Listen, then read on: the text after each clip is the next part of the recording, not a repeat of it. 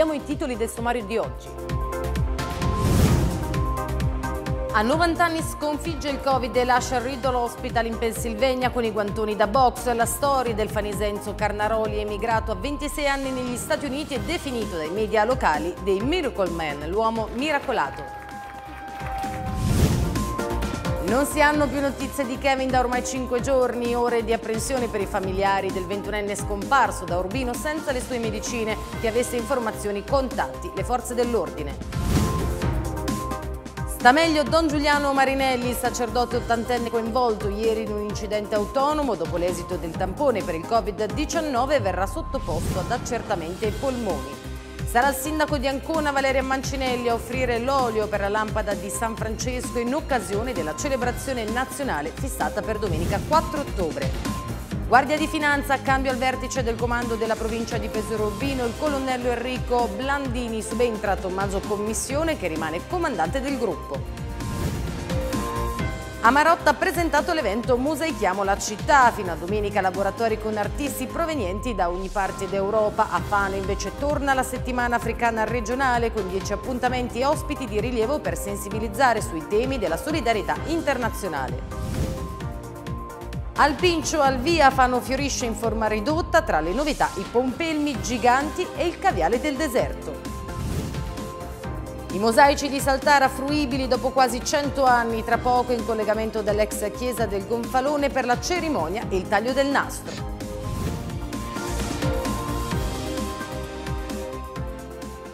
Un cordiale saluto dalla redazione di Occhio alla Notizia. Questa sera apriamo il nostro telegiornale con la storia di un fanese emigrato negli Stati Uniti che all'età di 90 anni ha sconfitto il coronavirus. L'anziano è stato definito dai media eh, locali l'uomo miracolato perché aveva delle importanti patologie pregresse. Infatti eh, anni fa gli era stato diagnosticato un cancro al colon al terzo stadio. Dopo tre settimane di ospedale ha potuto riabbracciare abbracciare sua moglie ma sentire anche i familiari che vivono nelle Marche e che oggi ci hanno raccontato questa bella ma dura battaglia.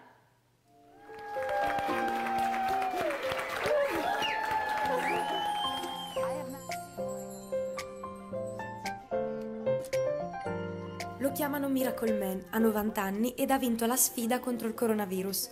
Si chiama Enzo Carnaroli, ha origini fanesi e dal 1956 abita in Pennsylvania, Stati Uniti. A raccontarci la sua storia via Skype è stata la nipote Lucia Carnaroli, residente a Iesi. Era una famiglia Carnaroli che praticamente mio nonno ehm, aveva quattro figli e siccome quei, quegli anni erano anni un po' di sacrifici, erano quattro figli, due sono andati in America e due sono rimasti qua in Italia. E lui è stato il primo che è partito, è stato richiamato là con un visto per lavoro da una zia, una sorella del padre che già era spatriata. Era sposato lui e dopo due anni eh, è stata richiamata la moglie. Dopo la morte della prima moglie, Enzo si risposa nel 99 con Joanne, con la quale adotterà Josephine. Oggi lo rivedrò e lo riporterò a casa. Questo è tutto ciò che mi importa. Queste le parole della moglie quando ieri, dopo tre settimane di dura lotta contro il virus, Enzo è stato finalmente rilasciato. Era lo scorso 31 agosto quando la stessa Joan aveva accompagnato il marito al Riddle Hospital in Delaware County. Una prima diagnosi, infezione urinaria, poi coronavirus. Mi dicono che zio è ricoverato all'ospedale per un'infezione alle vie urinarie e dopodiché non riuscivano eh, a a curarlo, cioè tutti i medicinali non, non riceveva, per quanto lui è sempre stato molto un uomo forte, un uomo combattivo, insomma, ma era stato ricoverato perché aveva sta febbre e queste infezioni alle vie urinarie. All'ospedale hanno capito che aveva poi, l'hanno trasferito nei reparti del coronavirus. E, però ecco, è stata una, un po' una sorpresa perché sono stati molto attenti ne ci voleva, ma ha scritto mia cugina 4 litri di ossigeno. È uscito senza niente adesso, avete visto dalle foto, proprio è, forte, è fortissimo. Però hanno capito che con la cura del plasma gli hanno dato del, il sangue, il, pla- il plasma con gli anticorpi e pensano proprio che sia stato quello che l'ha aiutato a, riprendersi, a reagire, insomma. Ne è uscito vittorioso nonostante l'età, come testimoniano i guantoni che gli hanno fatto indossare una volta uscito dall'ospedale. Ad attenderlo tutta la sua famiglia in festa e l'abbraccio commosso della moglie, come si può vedere dal servizio di ABC News. Lui ha detto sempre che eh, bisogna, bisogna ascoltare i medici, fare quello che ti dicono loro e, e, crederci, non mollare mai. Queste sono state le sue parole appena uscito dall'ospedale non mollare mai, crederci sempre di farcela, cioè lui era, è un tipo molto forte, ha combattuto anche contro un tumore al colon eh, vent'anni eh, fa, quindi è una, è una tempra bella forte, però comunque 90 anni sono 90 anni. E lui ha detto questo, ha detto adesso voglio tornare a casa, e, però è stato molto bravo. Anche le infermiere che le hanno intervistate hanno detto non credevamo mai che fosse una persona così combattiva. Infatti gli hanno messo questi guantoni perché era un, proprio un combattente, uno determinato.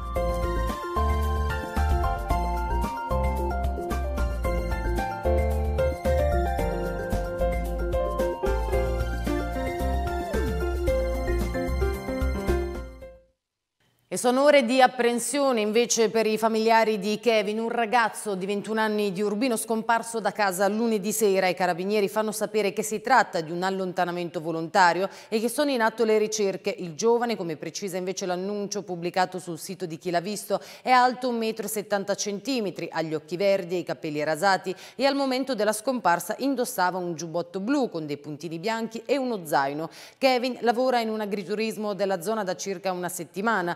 Lunedì intorno alle 19.45 si era allontanato dalla struttura presso la quale è ospite da qualche anno. Sarebbe dovuto rientrare intorno alle 22.30 ma così non è stato e di lui da quel momento non si sono avute più notizie. Ha con sé documenti e cellulare che però risulta spento ma non ha i farmaci che deve assumere per la sua terapia quotidiana. Kevin, si legge ancora sul sito web, sta attraversando un momento di fragilità e potrebbe avere bisogno di aiuto.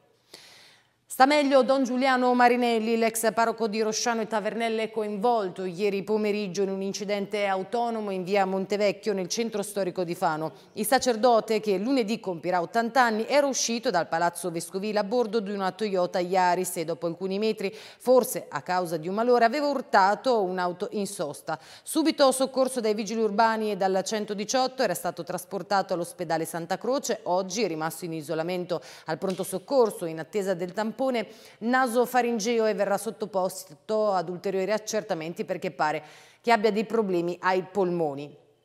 Cambiamo argomento, sarà Valeria Mancinelli, sindaca di Ancona, a nome dei sindaci della regione e eh, delle diocesi marchigiane, ad offrire l'olio per la lampada di San Francesco in occasione della celebrazione nazionale di San Francesco, patrono d'Italia, fissata per il prossimo 4 ottobre.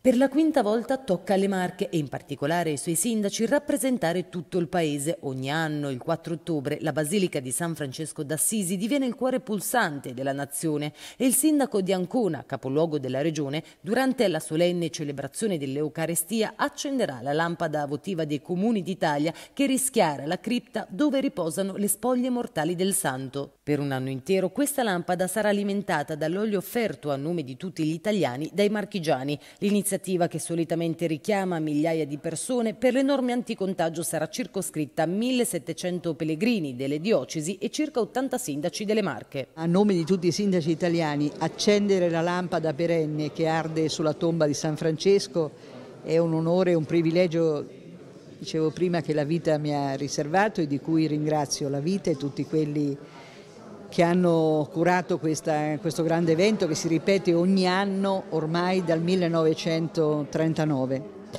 Eh, una grande emozione perché, mi passi il termine, essere a tu per tu con San Francesco e con la potenza sul piano non solo della fede, ma sul piano della umanità, che quella grande figura che come dicevo prima ha la forza di chi ha praticato il Vangelo e non solo lo ha predicato, è un'emozione fortissima che porterò come una ricchezza dentro di me, al di là del ruolo di sindaco, ma come persona. Il 3 ottobre Papa Francesco dovrebbe visitare in forma privata la tomba del santo, patrono d'Italia, mentre alla celebrazione del 4 è prevista anche la presenza del Premier Giuseppe Conte. Sarà un'occasione, ha osservato il presidente della CEMAR, Monsignor Piero Coccia, per risvegliare l'esperienza della fede dal taglio francescano, ma anche per mettere a fuoco due realtà, il sisma e il Covid. Abbiamo bisogno di una ripartenza del cuore delle persone e delle convinzioni. Nel programma, inoltre, c'è anche la la premiazione con la rosa d'argento di un'altra marchigiana, Angela Polselli di Pesaro. Il riconoscimento viene assegnato a persone che si sono distinte per opere di fede, speranza e carità. Abbiamo scelto una donna perché ci si è data l'occasione, ma anche per valorizzare la figura femminile. Questa è una signora giovane, vedova, colpita dal coronavirus con il decesso del marito, è una donna che a livello di volontariato ha lavorato e sta lavorando a livello internazionale è una donna di grande fede, una donna sensibilissima ai problemi sociali e anche educativi. Ha quattro figli e quindi una donna che così ci è stata segnalata l'abbiamo presa in debita considerazione anche per un motivo di carattere educativo. Per noi questa figura è una figura che va proposta anche al mondo dei giovani sul piano educativo, in un mondo dove spesso sentiamo notizie brutte, distruttive, ci sono anche tantissime notizie belle che vanno opportunamente diffuse, prima ancora conosciute. E sono 33 i positivi al coronavirus rilevati nelle ultime 24 ore nelle Marche su oltre 800 nuove diagnosi, 8 in provincia di Ascoli Piceno, 7 in quella di Pesaro Urbino, 9 nel Maceratese, 7 in provincia di Ancona, 1 in quella di Fermo e 1 fuori regione. Questi casi comprendono 7 contatti stretti di casi positivi, 11 casi in ambito domestico, 10 soggetti sintomatici, un caso rilevato dallo screening lavorativo realizzato in ambito scolastico e altri 4 sono ancora in fase di verifica verifica. I ricoveri invece calano da 28 a 24 e scendono da 3 a 2 i pazienti in terapia intensiva. E il colonnello Enrico Blandini da oggi è il nuovo comandante provinciale della Guardia di Finanza, subentra al tenente colonnello Tommaso Commissione che rimane alla sede di Pesaro come comandante del gruppo. La cerimonia di avvicendamento si è svolta questa mattina. Blandini, 48 anni, è nato a Orvieto, è laureato in giurisprudenza, economia e commercio, scienze politiche e scienze della sicurezza economica e finanziaria. Ha conseguito anche un master di secondo livello in diritto tributario dell'impresa. Dopo aver frequentato frequentato l'Accademia della Guardia di Finanza, ha ricoperto incarichi operativi importanti, tra questi il ruolo di comandante dell'antiterrorismo e pronto impiego di Catanzaro e di comandante del nucleo di polizia economico-finanziaria di Trieste, ultimo reparto di provenienza. A Fano invece ieri sera è stato eletto il nuovo coordinatore scientifico del Centro Studi Vitruviani. Si tratta del professor Oscar May, archeologo e docente dell'Università di Urbino Carlo Bo. È stato nominato all'unanimità dall'Assemblea dei soci del Centro Studi di cui ne fanno parte il MIBACT, il Comune di Fano, la Fondazione Cassa di Risparmio di Fano, l'Università Politecnica delle Marche e l'Università di Urbino. La decisione è stata presa in seguito alle recenti dimissioni del professor Paolo Clini per motivi motivi personali e professionali. Sono stati eseguiti la notte scorsa i lavori per costruire eh, la fondazione in cemento armato della vasca di accumulo alla foce del torrente Arzilla a Fano. Per l'intervento sono stati necessari oltre mille metri cubi di calcestruzzo, previsti circa 100 viaggi complessivi impiegando 10 diverse auto betoniere eh, impegnate a fare la spola nell'arco di 12 ore a partire dalle 23 di ieri. Inoltre l'area del cantiere è stata illuminata a giorno da Torri Faro, un'opera senz'altro impegnativa, ha precisato il presidente di ASET SPA Paolo Reginelli, che abbiamo preferito realizzare di notte per evitare disagi al traffico. Una volta completata la vasca potrà contenere 1600 metri cubi di acque reflue, raccogliendole quando gli scolmatori della zona entreranno in funzione in caso di forti piogge per poi riversarle al depuratore. Sarà preservato l'ambiente marino, si legge in una nota di Aset, e sarà migliorata la balneabilità estiva. Ed ora la pagina degli eventi, al via Mosaichiamo la città, il primo festival del mosaico del nostro territorio nato dalla collaborazione tra il comune di Mondolfo e l'associazione Chiaroscuro e che per questa prima edizione vanta la partecipazione di numerosi artisti provenienti da tutta Europa. Il servizio di Letizia Marchionni.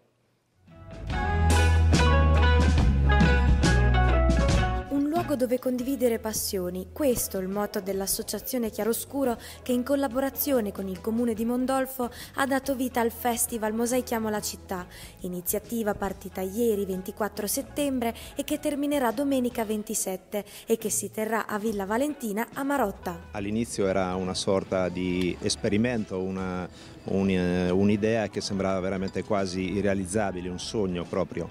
Invece oggi siamo riusciti dopo diversi anni a rendere eh, Mosaichiamo la città una, un vero e proprio festival, il primo festival che riguarda il mosaico nel nostro territorio.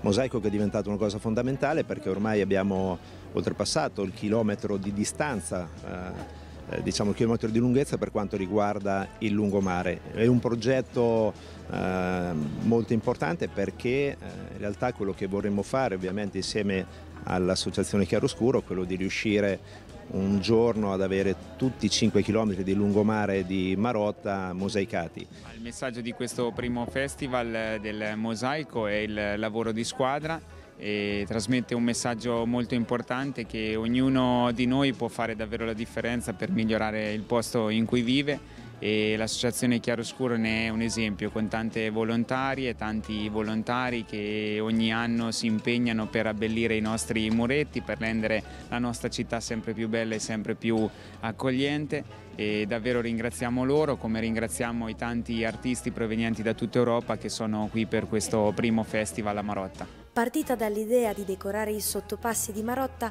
l'iniziativa si è sempre più allargata fino ad arrivare a coinvolgere il mondo intero.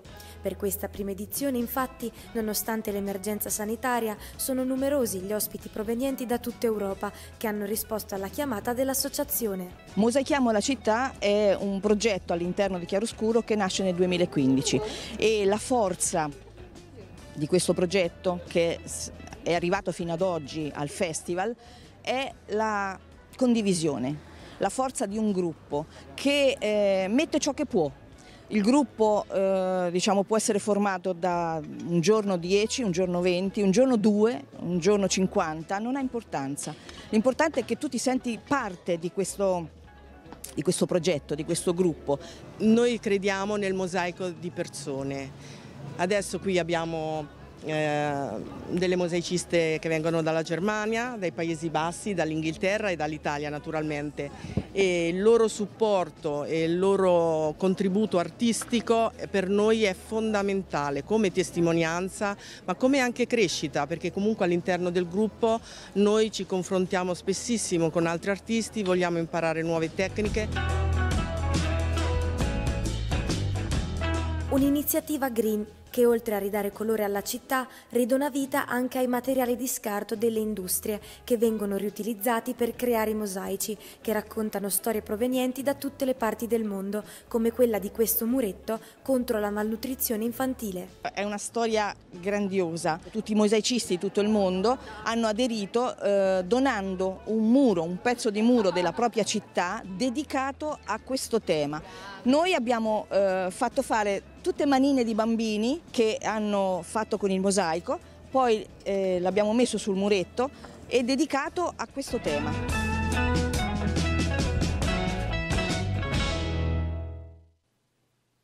E domenica parte la settimana africana regionale. Quest'anno la settimana africana regionale che giunge alla sua ventitresima edizione. La settimana africana regionale è giunta alla sua ventitresima edizione e, nonostante le difficoltà organizzative causa pandemia, non si ferma. Anche quest'anno, infatti, l'iniziativa prosegue con un programma ampio che partirà domenica 27 settembre fino a sabato 3 ottobre. Tra gli eventi più in rilievo, la consegna del premio All Africa nel Cuore giovedì 1 ottobre e la serata conclusiva con un concerto gospel che titola Notte Nera. In particolare questa settimana africana eh, si inserisce appunto in quella che è stata la pandemia appunto del Covid, eh, dove però ci hanno molto ispirato le parole di Papa Francesco, eh, in particolare la frase che lui pronunciò alla giornata del 27 marzo, quando appunto celebrò la messa in piazza San Pietro completamente vuota, ed era questa, non è è questo il tempo degli egoismi, perché la sfida che stiamo affrontando ci accomuna tutti e non fa differenza di persone. La settimana africana vuole in qualche modo ribadire ancora questo, cioè il fatto che dobbiamo unirci e dobbiamo essere consapevoli di quelli che sono i legami eh, che uniscono il nostro continente appunto a quello dell'Africa. Continuerà con tante iniziative, potrete vedere il nostro programma sul sito internet dell'associazione che è www.l'africachiama.org. L'iniziativa vedrà coinvolta anche l'associazione Plastic Free che nella giornata di apertura della settimana africana farà una raccolta di plastica presso il lungomare fanese. Perché questa collaborazione e che cosa accomuna le due associazioni? Abbiamo entrambe l'obiettivo di informare e sensibilizzare le persone per diciamo, poter arrivare a, ad assumere un comportamento consapevole sulle varie problematiche e tematiche di, questi, di questo periodo, eh, come la plastica e come anche no, l'aiuto del, del, prossimo, l'immigrazione. Quindi ci piaceva unire le nostre forze, insomma, per l'obiettivo comune appunto di, di, sensibilizzare per un comportamento consapevole. Un grande valore quindi quello che questa iniziativa porta alla città di Fano, come testimoniano le parole dell'assessore al welfare Dimitri Tinti.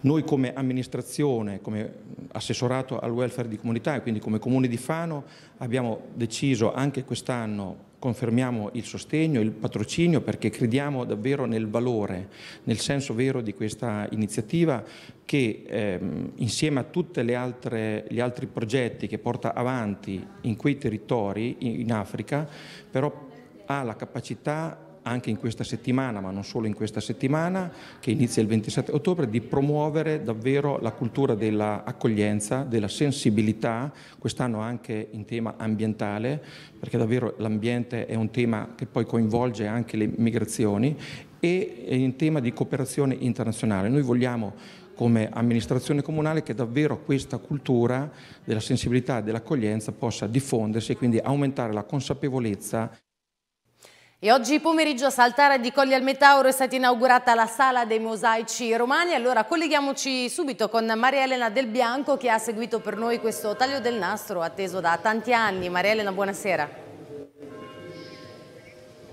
Buonasera Simona, buonasera ai nostri telespettatori. Come hai detto tu sono qua al MOS, la sala dei mosaici di Saltara e qui con me c'è il vice sindaco di Colli al Metauro nonché assessore alla cultura Andrea Giuliani. Buonasera. Buonasera Maria Elena. Allora, oggi inauguriamo questa sala, però si tratta di una due giorni estremamente importanti. Oggi per l'inaugurazione, domani per un altro progetto. Sì, stasera inauguriamo finalmente la MOS, la Sala dei Mosaici, eh, questo allestimento museale di questi tre frammenti musivi da tempo conservati nel nostro paese e, mm, ed è veramente il traguardo di un lungo percorso che riporta veramente alla luce originaria, lo splendore originario, questi grandi eh, frammenti di, mosaico ritrovati negli anni 30 nelle campagne di Calcinelli. E poi domani sera Uh, presenteremo un libro curato da Irene Cecchi su arte, storia e archeologia del territorio di Colli al Metauro, quindi un weekend davvero dedicato all'arte e alla storia di Colli al Metauro, di questo territorio questo weekend su invito e poi da ottobre invece si partirà con le visite guidate. Sì, certo, perché con le norme anti-Covid chiaramente abbiamo dovuto piegarci in qualche maniera a eventi a invito, a ristretto numero di invitati, però daremo tutti la possibilità di visitare i mosaici eh, in tutte le domeniche di ottobre dalle 16 alle 19 del pomeriggio, eh, ingressi ovviamente gratuiti. Grazie Assessore. Studio. Grazie, grazie Marella, abbiamo avuto qualche problema tecnico ma poi nei prossimi giorni vi faremo vedere anche uno speciale approfondimento che realizzeremo durante l'evento. Adesso ci spostiamo al Pincio di Fano dove questa mattina è iniziata in forma ridotta la festa dei fiori, Fano fiorisce. Niente laboratori ed eventi collaterali per la festa dei fiori che anche quest'anno ha trasformato l'area del Pincio in un grande giardino cielo aperto. Per evitare contatti tra le persone, il comune di Fano ha deciso di organizzare la mostra mercato in forma ridotta. Questa mattina i protagonisti della fiera hanno aperto i 30 stand proponendo le più svariate tipologie di piante e non solo. L'appuntamento più colorato e profumato della città, in programma fino a domenica, chiuderà come da tradizione gli eventi dell'estate fanese. Sì, Quest'anno sì, abbiamo sì. dovuto un po' penare per sapere la data, eh, infatti... Poi si viene un po' meno tranquilli dato il momento, però insomma... Vediamo. È sempre bello. Sempre con le dovute cautele, così. Essere un po' tra i fiori, quella soddisfazione lì. Siete amanti dei fiori? Sì. Di dove siete? Di Genova. Quindi in vacanza a Fano? Sì, in vacanza a Fano, sì, in Fano, in tutte le marche. Facciamo, stiamo facendo un giro. Vi piace la fiera? Bellissima, molto bella. Questa eh, bella mostra Mercato dei Fiori che innanzitutto ci dà la possibilità di abbellire le nostre, eh, le nostre case ma tutta la città e questo è il concetto con cui è nata la manifestazione. Quest'anno dà in più la possibilità di lavorare in un momento così delicato a tutti i floricultori del nostro territorio, quindi della nostra città ma anche della nostra provincia. Lo faremo nel modo più sicuro possibile rispettando i protocolli. Per il rispetto di tutte queste misure ci aiuterà la protezione civile ma insomma una possibilità di realizzare un evento, di far lavorare le persone e di abbellire la nostra città. Iniziata con il bel tempo, l'iniziativa è proseguita nel pomeriggio sotto la pioggia. In questo momento, ci racconta Luanna Regini, c'è comunque molto interesse per il verde. C'è proprio bisogno di ossigeno, dico io, e finalmente questo messaggio che le piante sono utili a farci star bene e, e, e fondamentali e sta passando. Che cosa proponete quest'anno?